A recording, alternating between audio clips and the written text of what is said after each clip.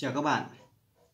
Vụ việc giữa Khoa Bắc và Aroma thì ngay từ đầu cả Thắng ơi cũng đã đưa ra những cái cảm nhận của mình về việc là vụ việc này có ảnh hưởng rất là lớn tới trực tiếp tới khách sạn Resort Aroma và có một phần ảnh hưởng tới cái, các cái các cái đơn vị lưu trú tại cái địa bàn mà cái resort Aroma này đóng Tuy vậy thì sau khi tìm hiểu và đọc nghiên cứu những cái tài liệu liên quan tới việc là xếp hạng à, sao cho các khách sạn, các resort nói à, nói chung là à, đánh giá sao cho các cái đơn vị lưu trú thì thắng ơi à, có một vài cái nhận xét à, hơi trái chiều một chút muốn gửi tới quý anh chị em và các bạn tham khảo à, mục đích là chúng ta sẽ cùng nhau à, sẽ chia để nâng cao cái chất lượng dịch vụ à, đặc biệt là chất lượng dịch vụ lưu trú cho cái ngành du lịch của Việt Nam. Thì theo quan điểm sau khi tìm hiểu và đọc rất nhiều những cái tài liệu cũng như là xem các cái video và cộng với những cái việc là tham khảo các cái ý kiến của chuyên gia cũng như những người có nhiều cái trải nghiệm trong cái việc là đi du lịch trên thế giới thì chúng tôi thấy rằng là cái vụ việc của khoa Bắc và ừ, Resort Aroma à, đã giúp nâng hạng dịch vụ lưu trú của Việt Nam ừ, thêm một vài bậc. Tại sao chúng tôi lại đưa ra cái cái cái cái lập luận như vậy? Thì xin được gửi tới các bạn những cái giải thích như sau.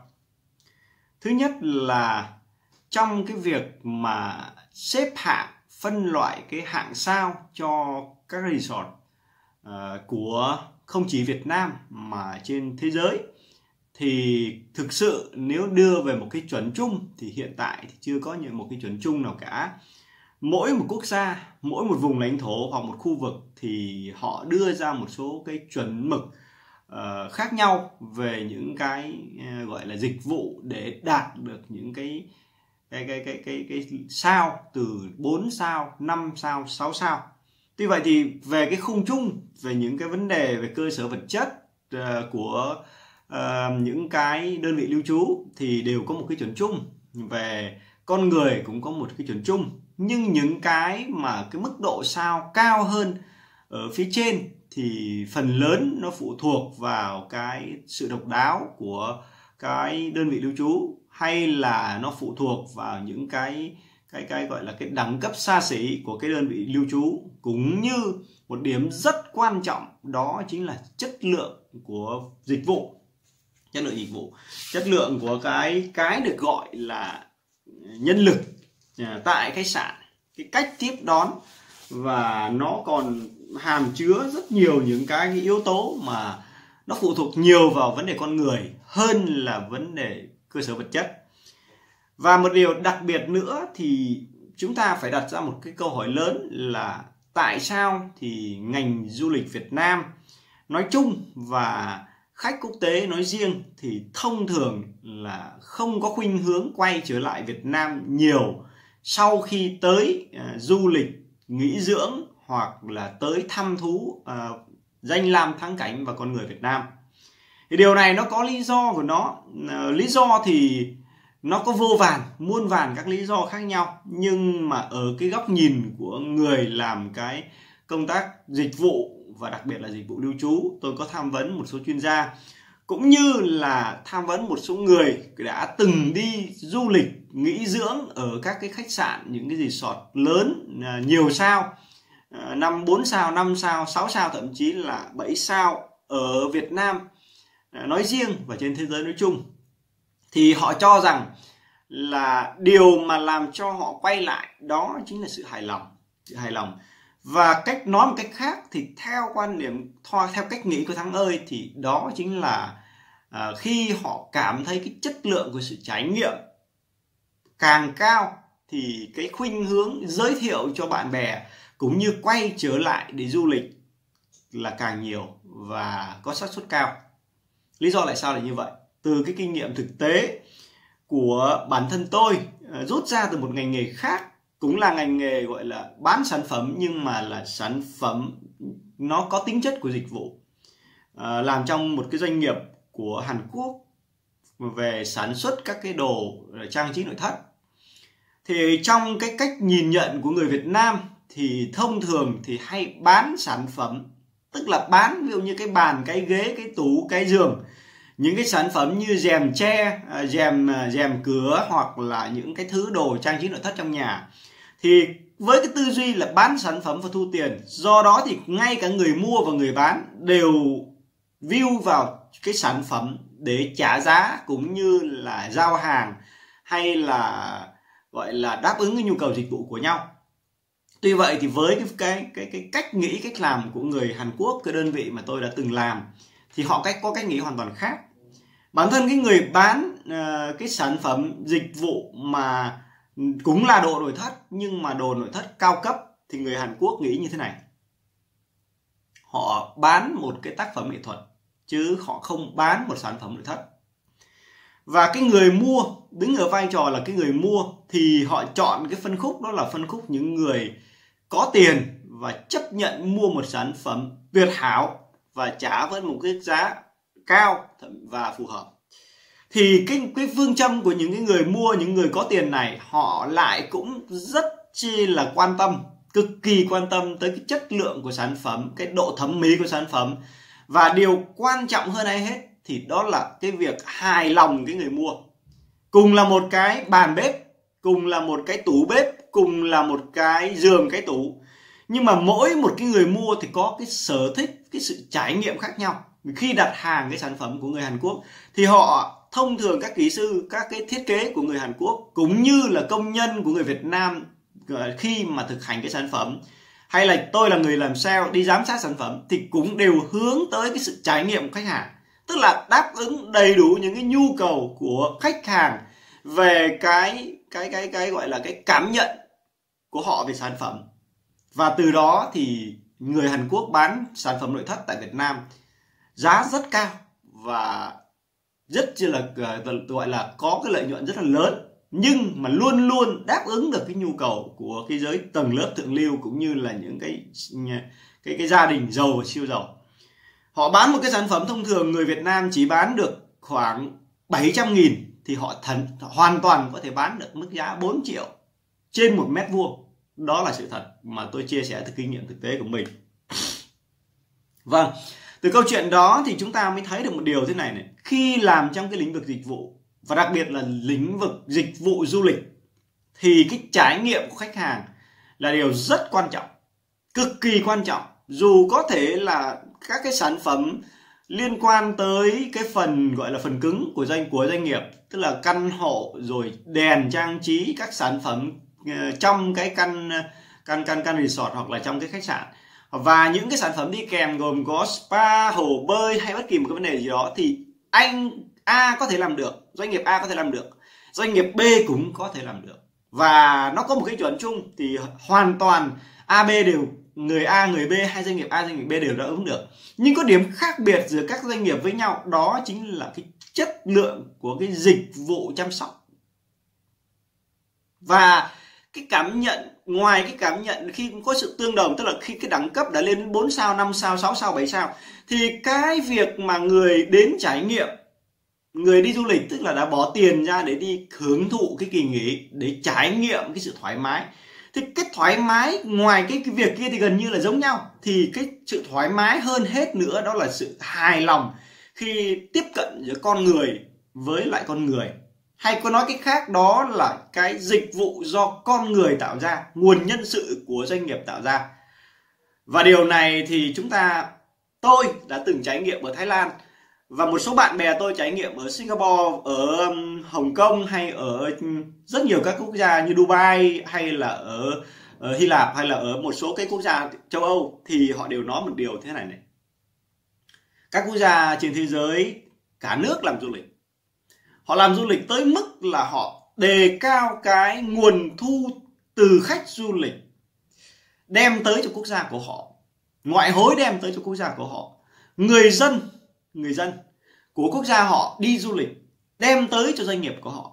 Và họ đề cao tới mức độ là tất cả mọi cái gọi là cái cái hành động trong cái đơn vị du lịch đều xoay quanh một cái tâm điểm đó là khách hàng. Mọi cái nhu cầu của khách hàng đều phải cố gắng đáp ứng tới 99,9% trong một số trường hợp nếu không thể cũng tìm giải pháp để đáp ứng nhằm thỏa mãn cái nhu cầu trải nghiệm của khách hàng, nhằm đạt được cái mục tiêu là không chỉ đáp ứng cái lần du lịch này của khách mà phải đáp ứng được cái mục tiêu là khách hàng sẽ chắc chắn quay trở lại với đơn vị của mình. Tôi lấy ví dụ chuyện tôi đi thái lan chẳng hạn. Tôi đến thái lan, tôi nhìn nhận về khí hậu, về cơ sở hạ tầng và về con người thì thực sự nó cũng không khác gì so với thành phố Hồ Chí Minh. Nhưng có một cái điểm khác biệt đó chính là cái chất lượng dịch vụ và cái cách làm du lịch của họ. Lấy ví dụ như vào một cái chợ lẻ, anh chị và các bạn luôn luôn thấy họ niêm yết giá một cách rõ ràng từng sản phẩm của mình. Không có cái câu chuyện là tìm cách để móc túi khách du lịch.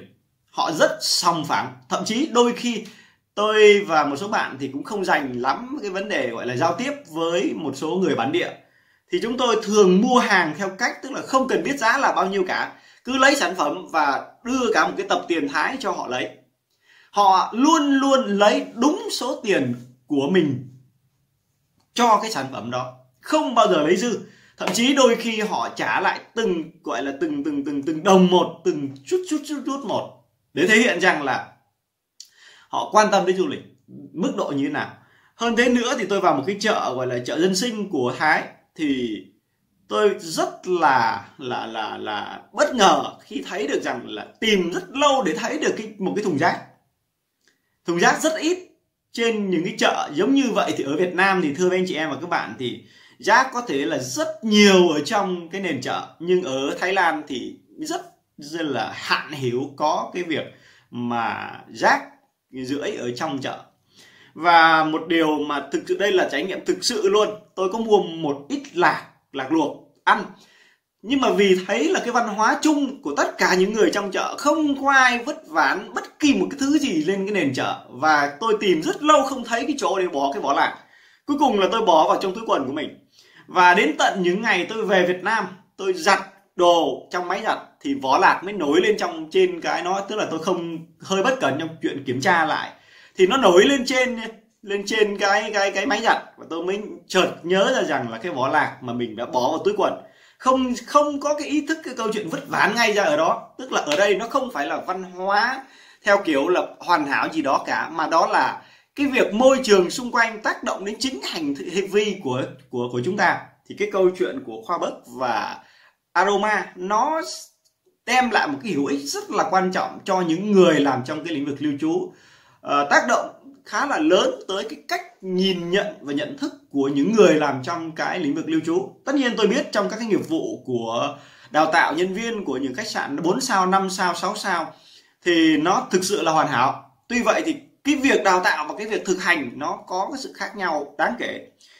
À, cũng biết được rằng là những nơi ví dụ như Đà Lạt, Nha Trang à, có rất nhiều những cái resort 5 sao, 4 sao, 6 sao ừ, dẫn đến à, là cái những người nhân công của cái cái dân địa phương tại đó họ được làm trong những khách sạn đó học hỏi những cái kinh nghiệm những cái chất lượng dịch vụ đó. Sau khi một khoảng thời gian họ học cái kinh nghiệm đó ra ngoài mở nhà hàng mở khách sạn họ cũng làm tôi đã từng đi rất nhiều những khách sạn ở Đà Lạt và ở Nha Trang thì tôi thấy được rằng là cái dịch vụ của những khách sạn nhỏ nhỏ dạng kiểu hai sao ba sao khách sạn nhỏ thôi à, đạt những cái chuẩn mực của khách sạn 4 năm sao là cũng nhờ vào câu chuyện đó. Thì vậy thì cái câu chuyện 4 năm sao thì uh, không phải là cái câu chuyện mà có chúng ta có thể hoàn toàn có thể hướng tới được bởi vì những quy định về cơ sở vật chất của những cái này rất lớn. Nhưng cái thứ của chúng ta có thể hoàn toàn làm được ngay đó chính là cái lượng của dịch vụ đến từ nhân sự đến từ nguồn nhân lực. À, thêm một điểm nữa tôi lấy ví dụ à, cũng là ví dụ tại Thái Lan. Tại sao chúng ta luôn luôn muốn quay lại Thái Lan? Là bởi vì cái phần chúng ta bị gọi là bịp ở Thái Lan là rất ít nhưng ở Việt Nam thì có phần là không phải biệt thị nhưng thực tế là nó hơi nhiều hơn so với các quốc gia khác. Và làm cho những người đến Việt Nam du lịch họ có cảm giác bất an điều đó là điều rất quan trọng. Thì qua cái vụ việc này thì nó cũng cũng có một phần tác động, tương tác tới cái việc gọi là làm sao cho bớt đi những cái gọi là xấu trong cái lĩnh vực du lịch. Để chúng ta nâng cái lượng khách du lịch ngày càng nhiều hơn cho quốc gia chúng ta nói chung. Điểm thứ tư, cái văn hóa của người Thái Lan về cái câu chuyện xếp hàng, đó là điều chúng tôi bất ngờ nhiều nhất tại Thái Lan tôi đến một bệnh viện ờ, lớn ở Thái Lan, đó là bệnh viện Sitrat bệnh viện Hoàng gia Thái Lan. Cái số lượng người làm dịch vụ, tức là những cái người mà gọi là, nó gọi là những người gọi là tham gia cái công tác chăm sóc bệnh nhân.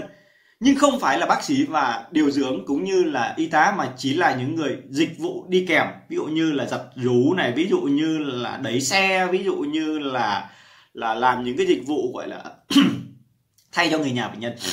Thì họ rất đông đông đến mức là anh chị và các bạn tưởng tượng giống như là những người nhà ở bệnh viện của chúng ta tại chợ rẫy, tại những cái bệnh viện lớn ở ngoài hà nội. Thì gần như là người nhà không có thấy xuất hiện nhiều ở trong các bệnh viện lớn ở thái lan. Chủ yếu là những người mặc áo xanh, là những người làm dịch vụ. Nghĩa là những người làm gọi là là là là thay cho người nhà để có thể chăm sóc bệnh nhân. Đông lắm. Rất đông nhưng cái kỷ cương và cái kỷ luật của những người này thì cực kỳ phải thấy là bất ngờ. Đó là khi tôi, với cái thói quen ở Việt Nam, thì đi vào thang máy thì mình cứ chạy ngay sát cái cửa thang máy để mình có thể nhanh chóng lên được cái tầng của mình cần lên. Tôi có thăm bệnh ở một cái bệnh viện tại Thái Lan. Thì sau khi mình đứng như vậy một hồi thì mình quay trở ngược lại, thấy một cái hàng dài xếp lần lượt từng người một, chắc cỡ khoảng 200 mét, dài tuốt ra. Và khi mà dài quá thì họ sẽ cắt làm hai hàng nhưng mà họ có đánh sợi sâu tức là có tự ngầm hiểu với nhau là hàng một và hàng hai. Thì tôi đang đứng như vậy bất ngờ quá. Hai vợ chồng tôi đứng như vậy khá là bất ngờ. Và cuối cùng phải dịch chuyển lại để xuống cuối hàng để xếp. Xếp hàng. Và khi thang máy xuống đến nơi thì họ vào, bước chân rất nhanh, lần lượt theo từng hàng vào thang máy. Điều đó thể hiện một cái văn hóa về cái sự trật tự của người thái thôi. Tôi chưa nói đến người nhật và một điều nữa đó là cái xe ở bên thái có một cái xe gọi là cái xe lam. Xe mà cứ ngồi đối mặt với nhau giống như là cái thùng xe của uh, xe gọi là thùng xe xe xe xe cải tiến của mình á đối diện với nhau. Thì à, tôi không gọi biết cái tên gọi chính xác là như thế nào. Anh chị và các bạn có biết thì để lại phía dưới. Thì khi mà những cái người nhân viên này họ về rất là trễ sau ca làm thông thường thì buổi chiều tôi hay hay hay hay có việc phải ra cái cổng bệnh viện ở đó thì tôi thấy được rằng là họ ra để xếp hàng lên xe, họ cũng xếp y chang hai hàng như vậy, không hề có sự chen lẫn đấy, từ cái văn hóa đó chúng ta sẽ thấy được rằng là để phát triển được lĩnh vực du lịch ở Việt Nam, tôi không muốn nói đến câu chuyện của Aroma hay câu chuyện của Khoa Bắc về cái câu chuyện đúng sai. Nhưng chúng tôi muốn nói tới, muốn trao đổi và chia sẻ với anh chị em và các bạn cái chủ đề này là bởi vì chúng ta hãy chia sẻ, hãy nói, hãy nhắc, hãy nói những người, anh chị em, bạn bè của mình làm trong lĩnh vực du lịch. Chúng ta hãy đề cao cái vấn đề. Điều này chúng ta làm được bởi vì chúng ta có một cái điểm lợi thế so với các nước tiên tiến trên thế giới, đó là chi phí nhân công của chúng ta thấp. Chi phí nhân công của chúng ta thấp, do đó chúng ta có thể trả cao chi phí nhân công hơn để yêu cầu hoặc là mong muốn những nhân lực của mình làm tốt hơn trong cái vấn đề về du lịch, trong cái vấn đề về về về dịch vụ. Và có bốn cái điểm mà chúng tôi muốn nốt lại trong cuối video này. Đó chính là những cái mà được đưa lên cái đẳng cấp của năm sáu sao không thể thiếu được đó là dịch vụ từ con người. Con người đôi khi là phải làm được những việc sau. Một là cái dịch vụ đổ xe. Đến thì phải có người để để gọi là giúp cho khách hàng tìm ngay lập tức cái chỗ đổ xe. Thì dịch vụ đẳng cấp của cái cái cái cái cái cái, cái nơi lưu trú của các bạn sẽ tăng cao. Thứ hai là nhân viên sách hành lý. Cái thứ ba là sảnh tiếp tân với cái ghế ngồi và có cái dịch vụ khăn lạnh và nước uống, nó không tốn bao nhiêu tiền cả. Nhưng nó nâng tầm cái đẳng cấp của khách sạn của bạn. Tất cả những cái dịch vụ này đều cần yếu tố con người. Có người đến chỉ giữ xe, có người đến sách đồ, có người đến tiếp nói chuyện ngay tại bàn sofa của khách sạn để chờ check in check out. Và có khăn lạnh và nước ấm hoặc nước mát hoặc là nước trái cây gì đấy. Ok. Và trong phòng thì nên có cái sự chào đón khách hàng bằng một cái thứ ví dụ như nước mùi thơm, ví dụ như hoa hay là một cái quà tặng gì đó. Một cái quà tặng gì đó. Rất, phần lớn chúng ta tham gia đi, tham, đi trải nghiệm các cái dịch vụ về du lịch, chúng ta đều muốn nhận được một cái quà nhỏ xinh gì đó. Thì bốn cái thứ đó nó đem đến cái đẳng cấp cho cái khách sạn của bạn cho cái đơn vị lưu trú của bạn. Mặc dù cái đơn vị lưu trú của bạn chưa đủ cái đẳng cấp để đưa vào cái xếp hạng 4 sao 5 sao bởi vì 4 5 sao nó có những cái tiêu chuẩn về cơ sở vật chất mà cái nơi cái vị trí đặt cái độ rộng của khách sạn bạn cũng như là cái uh, những cái nhà hàng những cái spa những cái hồ bơi bạn chưa đáp ứng được. Nhưng bạn hoàn toàn có thể đáp ứng được những thứ tôi vừa nói. Và hơn hết nữa là hãy cải tiến cái tâm lý người làm của bạn người phục vụ của bạn. Với cái vai trò là biến cái nơi họ làm họ làm và làm cho họ hiểu được cái việc họ đang làm đó là sự giúp đỡ người khách giúp đỡ chính bạn là ở chỗ gì giúp đỡ người chủ khách sạn làm thế nào để cho cái người khách hàng không chỉ đến khách sạn bạn một lần duy nhất mà những lần sau đi du lịch tại địa phương bạn, họ chắc chắn đến với bạn. Đó là người thực hành của bạn là người, ví dụ như là người dịch vụ phòng này, người bảo vệ này, rồi người lễ tân này, họ họ hiểu được rằng công việc của họ đang làm là giúp đỡ bạn. Giúp đỡ bạn là chủ doanh nghiệp, là giúp đỡ bạn những câu chuyện đó. Hơn thế nữa thì giúp đỡ khách hàng. Là bởi vì sao? Sách đồ cho khách hàng này, ví dụ như là đem cho khách hàng một ly nước để uống, trong lúc họ đang đi vất vả là giúp đỡ họ. Hay là ví dụ chào đón họ bằng một cái gì đó thú vị quà Ờ, nào đó thì rõ ràng là họ đi một cái chặng đường dài, họ cảm thấy thoải mái, tức là giúp đỡ họ. Và điều quan trọng hơn hết là giúp đỡ chính bản thân mình. Bởi vì sao? Nhiều khách hàng đến với doanh nghiệp của bạn thì đồng nghĩa với một cái câu chuyện đó chính là cái tổng thu nhập doanh thu của khách sạn bạn tăng cao thì phải nói với người làm rằng là nhờ đó mà lương và cái phần thưởng của anh chị nhiều hơn. Thì rõ ràng cái hành động, cái việc làm của những người đang làm với bạn sẽ nâng thêm một tầm cao nữa. Tức là họ đang giúp đỡ chính mình. Công ăn việc làm của họ được ổn định lương bổng của họ có khuynh hướng tăng cao là nhờ vào những cái hành xử của họ với khách hàng. Do đó thì nó sẽ tự biến được thành cái nhu cầu họ tự giác làm chứ không phải theo quy định nữa. Và cái điều đó nó nó là một cái điểm cộng cực kỳ lớn cực kỳ lớn đối với doanh nghiệp làm trong cái lĩnh vực dịch vụ à, du lịch nói riêng ngành du lịch nói riêng và tất cả các cái ngành nghề du lịch khác mà trong cái nền kinh tế xã hội. Chúng ta là những người, khách hàng là người đem tiền đến cho mình. Mình giúp đỡ khách hàng và giúp đỡ chính mình, giúp đỡ cái doanh nghiệp mình đang gắn bó.